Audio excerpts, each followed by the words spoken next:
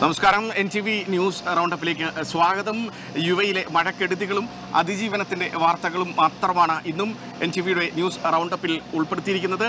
കഴിഞ്ഞ ദിവസം അനുഭവപ്പെട്ട കനത്ത മഴയിൽ ഏറ്റവും അധികം കെടുതികൾ തുടരുന്ന ഷാർജയിലെ കിങ് ഫൈസൽ സ്ട്രീറ്റിലും പരിസര പ്രദേശങ്ങളിലും ഇപ്പോഴും വെള്ളക്കെട്ട് രൂക്ഷമായി തന്നെ തുടരുകയാണ്. എന്നാൽ കിങ് ഫൈസൽ സ്ട്രീറ്റിലടക്കം ഉയർന്നു നിൽക്കുന്ന ജലം നീക്കം ചെയ്യുന്നതിന് ഷാർജ ഭരണകൂടം യുദ്ധകാലാടിസ്ഥാനത്തിനുള്ള പ്രവർത്തനങ്ങൾ ആരംഭിച്ചിരിക്കുന്നു എന്നുള്ളതാണ് വലിയ മോട്ടറുകൾ അടക്കം ഉപയോഗിച്ചുകൊണ്ട് ഈ മേഖലയിലെ ജലം നീക്കം ചെയ്യുന്നതിനുള്ള ഒരു പ്രവർത്തനമാണ് നടക്കുന്നത്. ഇപ്പോൾ നമുക്ക് ഇവിടെ കാണാൻ കഴിയും ഷാർജയിൽ കിങ് ഫൈസൽ സ്ട്രീറ്റിൽ ക്രിസ്റ്റൽ പ്ലാസയ്ക്ക് മുൻപിലായി രണ്ട് വലിയ മോട്ടറുകൾ ഉപയോഗിച്ച് ജലം പമ്പ് ചെയ്ത് നീക്കം ചെയ്യുന്ന ഒരു പ്രക്രിയയാണ് ഷാർജ മുനിസിപ്പാലിറ്റിയുടെയും പോലീസിന്റെയും മറ്റ് വകുപ്പുകളുടെയും നേതൃത്വത്തിൽ നടത്തി വരുന്നത്.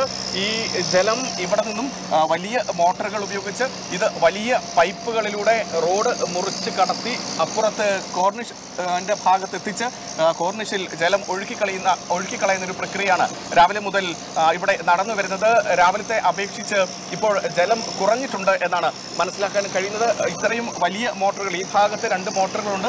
അപ്പുറത്ത് മറ്റ് ഒരു മോട്ടറും ഈ സമാനമായ വിധത്തിൽ തന്നെ പ്രവർത്തിക്കുന്നുണ്ട് എന്ന് ആണ് മനസ്സിലാക്കാൻ കഴിയുന്നത്.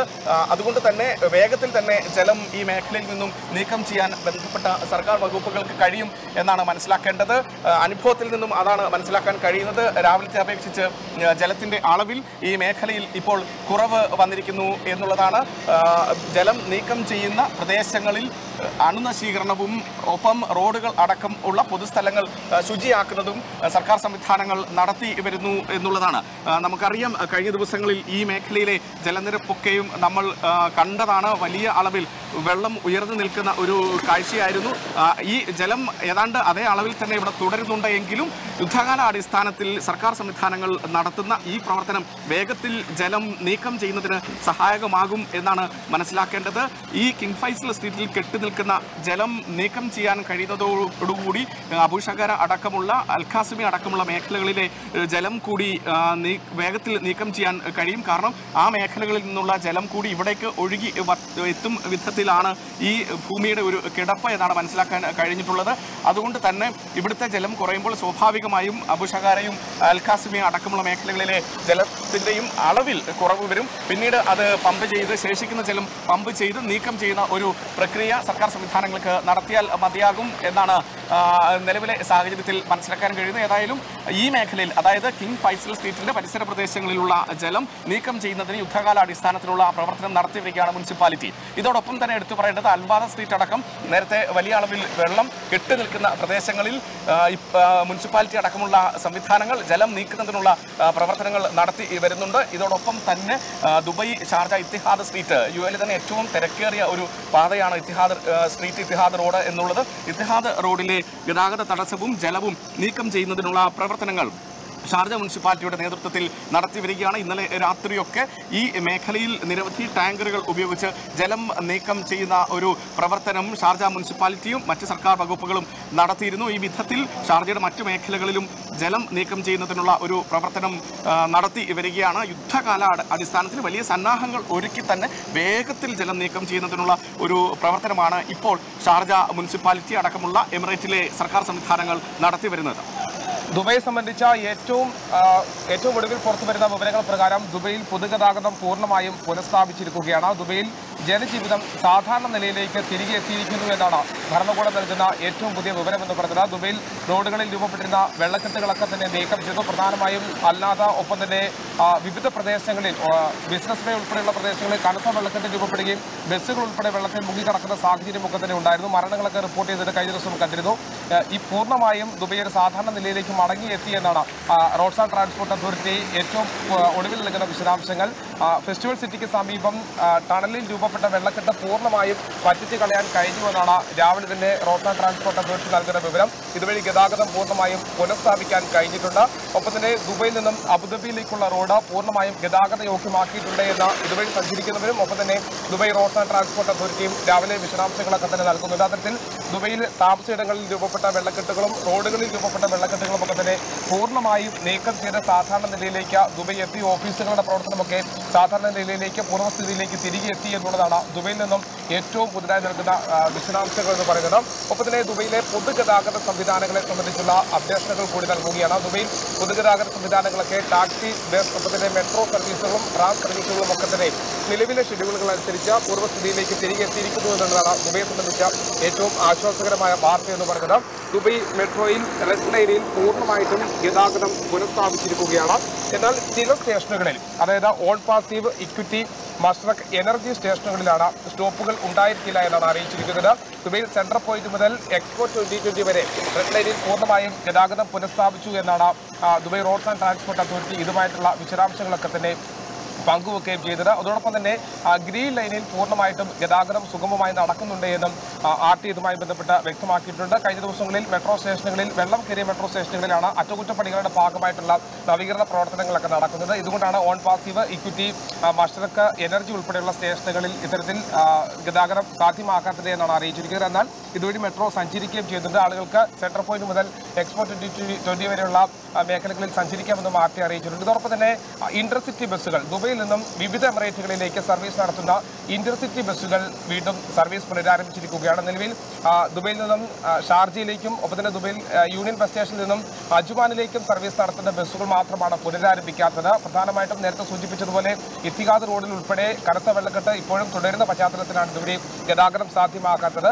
മറ്റ് റോഡുകളിൽ. പ്രധാനമായിട്ടും പറയുന്നത് ദുബൈയിൽ നിന്നുമുള്ള ഗുബൈവ ബസ് സ്റ്റേഷനിൽ നിന്നും അലൈൻ ബസ് സ്റ്റേഷനിലേക്കും ഒപ്പം തന്നെ യൂണിൽ നിന്നും കുജേറ ബസ് സ്റ്റേഷനിലേക്കും എത്തിസലാത്ത് മെട്രോ സ്റ്റേഷനിൽ നിന്നും ഷാർജ മൊബൈലിലേക്കും എത്തിസലാത്ത് മെട്രോ സ്റ്റേഷനിൽ നിന്നും അജ്മാനിലേക്കുമുള്ള സർവീസുകൾ പുനരാരംഭിച്ചിട്ടുണ്ട് എന്നാണ് ആർ ടി അറിയിച്ചിരിക്കുന്നത്. ഈ എമിറേറ്റുകളിലേക്ക് യാത്ര ചെയ്തവർക്ക് ഈ ഇന്റർസിറ്റി ബസ്സുകൾ ഉപയോഗിക്കാമെന്നും ആർ ടി വ്യക്തമാക്കിയിട്ടുണ്ട്. ഗതാഗതം വീണ്ടും സുഗമമാക്കിയിട്ടുണ്ട്.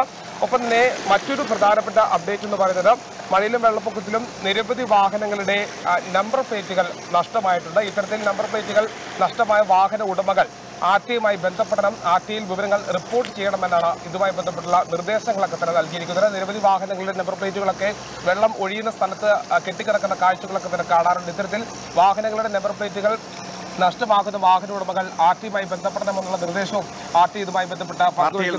റിപ്പോർട്ട് ചെയ്യണം എന്നുള്ള നിർദ്ദേശവും ആർ ടി നൽകുന്നുണ്ട്. മറ്റൊരു പ്രധാനപ്പെട്ട കാര്യം എന്ന് പറഞ്ഞത് വെള്ളം കയറി നാശനഷ്ടം സംഭവിച്ച വാഹനങ്ങൾ എന്ത് ചെയ്യണം എന്നുള്ളതിനെ പറ്റി പലർക്കും ഒരു ആശങ്ക നിലനിൽക്കുന്നുണ്ട്. ഇത്തരത്തിൽ വാഹനങ്ങളിൽ വെള്ളം കയറി കേടുപാടുകൾ സംഭവിച്ചാൽ പോലീസിന്റെ വെബ്സൈറ്റിൽ കയറി ഇതിനുള്ള ഒരു ഓപ്ഷൻ പ്രത്യേകമായി നൽകിയിട്ടുണ്ട്. പോലീസിന്റെ വെബ്സൈറ്റിൽ കയറി വാഹനത്തിന്റെ വിശദാംശങ്ങളൊക്കെ നൽകി രജിസ്റ്റർ ചെയ്യണം. പോലീസിൽ നിന്ന് ലഭിക്കുന്ന സർട്ടിഫിക്കറ്റ് ഉപയോഗിച്ച ഇൻഷുറൻസ് കമ്പനിയുമായി ബന്ധപ്പെട്ട് വാഹനം ഇൻഷുർ ചെയ്യണമെന്നുള്ള നിർദ്ദേശമാണ് വിവിധ റേറ്റുകളിലെ പോലീസ് അധികാരികൾ ഇതുമായി ബന്ധപ്പെട്ട ആളുകൾക്കൊക്കെ തന്നെ നിർദ്ദേശം നൽകുകയും ചെയ്തിരിക്കുന്നത്. മറ്റൊന്ന് ദുബായ് അടക്കം യു എയുടെ വ്യോമ മേഖലയുമായി ബന്ധപ്പെട്ട് ഉണ്ടായ തടസ്സത്തിന്റെ അപ്ഡേറ്റുകളാണ്. ദുബായ് രാജ്യാന്തര വിമാനത്താവളത്തിന്റെ പ്രവർത്തനത്തെയാണ് ഏറ്റവും അധികം ഇത് ഗുരുതരമായി ബാധിച്ചത്. ദുബൈയെ സംബന്ധിച്ച് പൂർവസ്ഥിതിയിലേക്ക് എത്തുന്നതിന് ഇനിയും കഴിഞ്ഞിട്ടില്ല.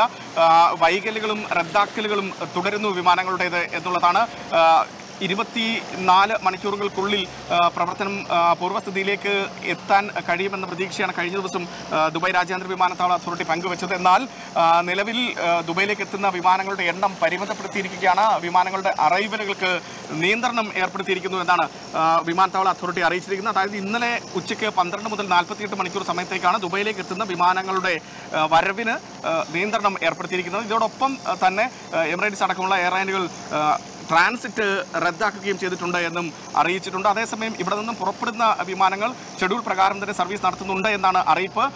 ഇതോടൊപ്പം ഇന്ത്യയിൽ നിന്നുള്ള പല വിമാന കമ്പനികളും ഇന്ത്യൻ വിമാന കമ്പനികളായ Air India Air India Express IndiGo SpiceJet തുടങ്ങിയ വിമാനങ്ങൾ ദുബൈയിലേക്കുള്ള സർവീസുകൾ ക്യാൻസൽ ചെയ്യുന്നു റദ്ദാക്കുന്നു എന്ന് അറിയിച്ചിട്ടുണ്ട്. ഇതോടൊപ്പം ഇന്ത്യൻ എംബസി നൽകുന്ന ഒരു പ്രധാനപ്പെട്ട അപ്ഡേറ്റ് ഇന്ത്യക്കാർക്കുള്ളത്.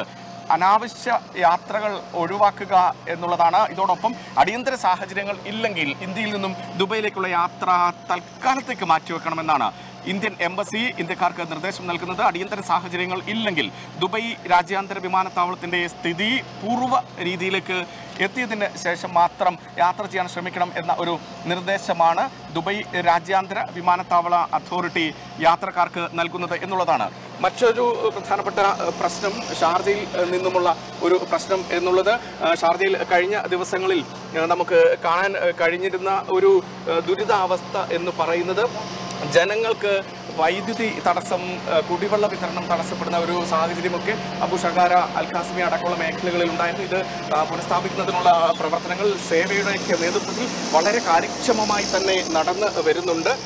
ഇതോടൊപ്പം തന്നെ എന്താണ് കൃത്യമായി പറഞ്ഞാൽ ചില ഇടങ്ങളിൽ അൽ ചില ഇടങ്ങളിൽ അടക്കം വൈദ്യുതി ബന്ധം പുനഃസ്ഥാപിക്കുന്നത് ഇപ്പോഴും കഴിഞ്ഞിട്ടില്ല. ഇത് ആളുകളെ വലിയ ദുരിതത്തിലാക്കിയിട്ടുണ്ട്. ലിഫ്റ്റുകൾ പ്രവർത്തിക്കാത്ത സാഹചര്യമുണ്ട്. ഇതോടൊപ്പം തന്നെ ഇത്തരത്തിൽ ദുരിതം അനുഭവിക്കുന്ന ജനങ്ങൾക്ക് സഹായങ്ങൾ എത്തിക്കുന്നതിന് മലയാളികൾ വളരെ മാതൃകാപരമായ ഒരു പ്രവർത്തനം നടത്തി വരുന്നു എന്നാണ് മനസ്സിലാക്കാൻ കഴിയുന്നത്. അതാണ് ഇവിടേക്ക് കാണാൻ കഴിയുന്നത്. മലയാളി കൂട്ടായ്മകളുടെയും സംഘടനകളുടെയും വ്യക്തികളുടെയും ഒക്കെ തന്നെ നേതൃത്വത്തിൽ വലിയ രൂപത്തിൽ സഹായങ്ങൾ ഈ മേഖലകളിലേക്ക് എത്തിക്കുന്നുണ്ട്. കൂട്ടായ ഒരു പ്രവർത്തനം ഇതിന് സംഘടനകളും കൂട്ടായ്മകളും വ്യക്തികളും ഒക്കെ തന്നെ നടത്തുന്നുണ്ട് എന്നാണ് മനസ്സിലാക്കാൻ കഴിയുന്നത്. സഹായങ്ങൾ ലഭ്യമാക്കുന്നുണ്ട്. സഹായങ്ങൾ ആവശ്യമുള്ള ആളുകൾക്ക് ഇനി സഹായങ്ങൾ ആവശ്യമുള്ള ആളുകൾക്ക് ഇത്തരത്തിലുള്ള കൂട്ടായ്മകളും സംഘടനകളും ഒക്കെയായി ബന്ധപ്പെടാവുന്നതാണ്. ഷാർജയിൽ ഇന്ത്യൻ അസോസിയേഷൻ അടക്കമുള്ള സംഘടനകളുണ്ട്. ഇതോടൊപ്പം തന്നെ നമുക്ക് അറിയാം ഓരോ മലയാളിക്കും അവരുടെ സംഘടനകളൊക്കെ ഉണ്ടാകും. ഇത്തരത്തിലുള്ള പല സംഘടനകളും വലിയ രൂപത്തിൽ ആളുകൾക്ക് സഹായം എത്തിക്കുന്ന ഒരു പ്രവർത്തനം നടത്തി വരുന്നുണ്ട്. അത് വളരെ മാതൃകാപരമായ ഒരു പ്രവർത്തനമാണ് നടത്തി വരുന്നത് എന്നാണ് നമുക്ക് കാണാൻ കഴിയുന്ന ഒരു കാഴ്ച എന്നുള്ളത് മറ്റൊന്ന് ഈ വെള്ളക്കെട്ടിൽ ഇറങ്ങുന്നവർക്ക് ആരോഗ്യ പ്രവർത്തകർ നൽകുന്ന ഒരു മുന്നറിയിപ്പാണ്. ജാഗ്രത പാലിക്കണം. ഇത്തരത്തിൽ ദിവസങ്ങളായി കെട്ടിക്കിടക്കുന്ന ജലത്തിൽ ഇറങ്ങുന്നവർ എന്നാണ് മുന്നറിയിപ്പ് നൽകുന്നത് ആരോഗ്യ വിദഗ്ധർ യു എയിലേത് ഈ ജലത്തിൽ മാലിന്യം അടങ്ങിയിട്ടുണ്ടാകും. ഇതോടൊപ്പം തന്നെ ജലജന്യ രോഗങ്ങൾക്ക് കാരണമാകുന്ന പല പല ഘടകങ്ങളും ബാക്ടീരിയകളും വൈറസുകളും അടക്കമുള്ളവ ജലത്തിൽ അടങ്ങിയിട്ടുണ്ടാകും. അതുകൊണ്ട് തന്നെ കുട്ടികളൊക്കെ ഇറങ്ങി കളിക്കുന്ന കാഴ്ചകൾ പലയിടത്തു നിന്നും നമ്മൾ കണ്ടിട്ടുണ്ട്. അത് ഒരു കാരണവശാലും അനുവദിക്കരുത് കുട്ടികളെ ഇത്തരത്തിൽ കണ്ടാമിനേറ്റഡ് ആയ ജലത്തിൽ ഇറങ്ങുന്നതിന്. ഇതോടൊപ്പം ഇത്തരം സാഹചര്യങ്ങളിൽ ജലത്തിൽ ഇറങ്ങേണ്ട ആവശ്യം വരും. ആളുകൾക്ക് അത്തരം സാഹചര്യങ്ങളിൽ ആവശ്യമായ മുൻകരുതൽ നടപടികൾ സ്വീകരിക്കണം എന്നുമാണ് ആരോഗ്യ വിദഗ്ധർ മുന്നറിയിപ്പ് നൽകുന്നത്. കോളറയും ടൈഫോയിഡും അടക്കമുള്ള രോഗങ്ങൾക്ക് ഇത്തരം സാഹചര്യങ്ങൾ വഴിവെക്കും. അതുകൊണ്ടാണ് ഇത്തരത്തിൽ ആരോഗ്യ വിദഗ്ധർ മുന്നറിയിപ്പ് ജനങ്ങൾക്ക് നൽകുന്നത്. ഏതായാലും വളരെ വേഗത്തിൽ തന്നെ അതിജീവനം സാധ്യമാക്കുകയാണ് യു എയിലെ ബന്ധപ്പെട്ട സർക്കാർ വകുപ്പുകൾ പതിവില്ലാത്ത ശീലമില്ലാത്ത സാഹചര്യമാണ് ഈ രാജ്യത്ത് അനുഭവപ്പെട്ടത്. ഈ കാലാവസ്ഥാ പ്രതിഭാസം മൂലം വലിയ രൂപത്തിലുള്ള മഴ പെയ്യുകയും വലിയ അളവിലുള്ള ജലം വിവിധ മേഖലകളിലേക്ക് എത്തുകയും കെട്ടിക്കിടക്കുകയും ചെയ്യുന്ന ഒരു സാഹചര്യമാണ് ഉടലെടുത്തത്. അത് നീക്കം ചെയ്യുന്നതിന് സ്വാഭാവികമായും സമയമെടുക്കും. അതിന്റെ ബുദ്ധിമുട്ടുകൾ എല്ലാ ഈ മേഖലകളിലുള്ള എല്ലാ ആളുകൾക്കും അനുഭവിക്കേണ്ടിയും വരുന്നുണ്ട്. പക്ഷേ സർക്കാർ സംവിധാനങ്ങൾ യുദ്ധകാല അടിസ്ഥാനത്തിൽ തന്നെ ഇത് നീക്കം ചെയ്യുന്നതിനുള്ള പ്രവർത്തനങ്ങൾ നടത്തുകയാണ്. അതിന്റെ കാഴ്ചകളാണ് നമ്മളിപ്പോൾ ഷാർജയിൽ തന്നെ ഏറ്റവും അധികം വെള്ളം കെട്ടി നിൽക്കുന്ന കിങ് ഫൈസൽ സ്ട്രീറ്റിൽ നിന്നും കാണാൻ കഴിയുന്നത്. അതുകൊണ്ട് തന്നെ ആശങ്കപ്പെടേണ്ട സാഹചര്യങ്ങൾ ഇല്ല. വളരെ വേഗത്തിൽ തന്നെ ഷാർജയിലെ ഈ മേഖലയിലടക്കം നിലവിൽ അനുഭവപ്പെടുന്ന പ്രശ്നങ്ങൾക്ക് പരിഹാരം കാണും. ഇനി അധിക സമയം വേണ്ടി വരില്ല. ഈ മേഖലയിലെ അടക്കം വെള്ളം ഇറങ്ങുന്നതിന് എന്നാണ് ഇപ്പോൾ ഇവിടെ നടക്കുന്ന പ്രവർത്തനങ്ങളിൽ നിന്നും മനസ്സിലാക്കാൻ കഴിയുന്നത്. വളരെ വേഗത്തിൽ അതിജീവനം സാധ്യമാക്കുകയാണ് യു എയുടെ വിവിധ എമിറേറ്റുകൾ. അത് വരും മണിക്കൂറുകളിൽ നമുക്ക് നേരിട്ട് അനുഭവപ്പെട്ട് തുടങ്ങും എന്നാണ് പറയാനുള്ളത്.